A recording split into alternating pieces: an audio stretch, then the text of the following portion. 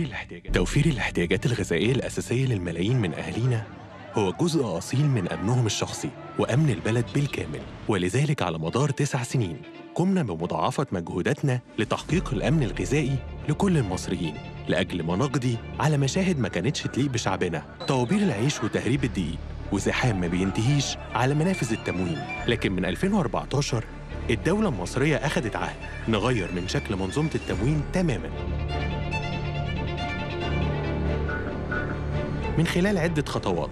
أولها كان إعادة هيكلة منظومة الدعم العيني وتحويله لدعم نقدي مشروط أو نظام للدعم عن طريق كوبونات للغذاء. تطويرنا لمنظومة الدعم كان قائم على مبدأ ضمان صحة الاستهداف فتم تنقية المستحقين للبطاقات التموينية والاعتماد على البطاقات الذكية وإضافة 568.9 ألف بطاقة جديدة لمحدودي الدخل والأسر الأولى بالرعاية. فوصل عدد المستفيدين ل 62 مليون مواطن وفي 2023 وصل دعم السلع ل 36.1 مليار جنيه بزيادة ثلاث أضعاف تقريباً عن 2014 على الناحية التانية قمنا بتطوير منظومة دعم الخبز من كل النواحي فقمنا بزيادة عدد المخابز البلدية ل 31.1 ألف مخبز مدعم بيقدموا ما يقارب 250 إلى 270 مليون رغيف كل يوم. بسعر ثابت خمس قروش للرغيف الواحد. ووصل إجمالي دعم الخبز في 2023 ل 91 مليار جنيه بيستفيد منه حوالي 71 مليون مواطن. وفي نفس السياق اشتغلنا على تزويد مخزوناتنا من القمح فقمنا بزيادة عدد صوامع الغلال ل 94 صومعة. طب ده هيفيد إزاي؟ عن طريق تقليل الهدر اللي كان بيوصل ل 20% وعانينا منه لسنين. لما كنا بنخزن القمح في الشون المفتوحة والصوامع الغير مجهزة والنتيجة شفناها بعينينا لما أصبحت الطاقة التخزينية في 2023 حوالي 3.5 مليون طن بعد ما كانت 1.2 مليون طن في 2014 وده ساعدنا لتأمين مخزون استراتيجي آمن من القمح يغطي احتياجاتنا لمدة تزيد عن خمس شهور.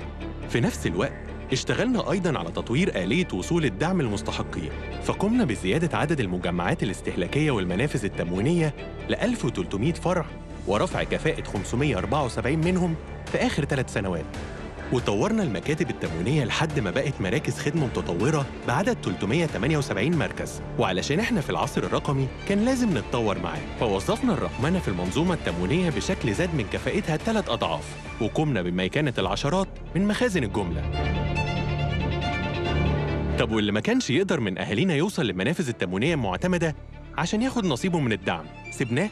طبعاً لأ ولأجلهم استحدثنا المنافذ التموينية المتحركة من خلال أسطول سيارات متنقلة وصل عددها ل 261 سيارة بيوصلوا المنتجات المدعومة في كل أرض مصر في خلال تسع سنين تعزيز كفاءة حركة التجارة الداخلية كانت من أولوياتنا فقمنا بالتوسع في إقامة 14 منطقة لوجستية في 10 محافظات بتكلفة 33.5 مليار جنيه. كذلك طورنا 28 سوق جملة على مستوى الجمهورية. كذلك أنشأنا 25 سجل تجاري على مستوى الجمهورية وطورنا من 57 فرع آخر. وتم ربطهم بنظام إلكتروني موحد. لتعزيز كفاءة الخدمات المقدمة بالإضافة لربطها مع البنوك لتحقيق الشمول المالي. ولأن الرقابة على الأسواق بتلعب دور كبير في ضمان وصول السلع لمستحقيها في 2018 أصدرنا قانون حماية المستهلك لمواجهة السلع مجهولة المصدر وضمان السلامة الصحية وحقوق المستهلكين. طب إزاي؟ من خلال 23 فرع لحماية المستهلك. في مختلف المحافظات بنتلقى شكاوي أهالينا. ومع حملات التفتيش المستمرة بنقطع الطريق قصاد أي حد يفكر يتلاعب ويستغل أهالينا ويحجب عنهم أي سلع ضرورية. ونتيجة كل مجهوداتنا على مدار تسع سنين تقدمت مصر في مؤشر الأمن الغذائي للمركز 77 من أصل 113 وأشاد البنك الدولي بالتجربة المصرية في منظومة دعم الخبز والسلع التموينية كخطوة لتحقيق التنمية المستدامة. بس لسه الطريق طويل. وحكايتنا في انتظار سطور جديدة بإنجازات أكبر وأكبر. ما هي دي حكايتنا؟ حكاية وطن.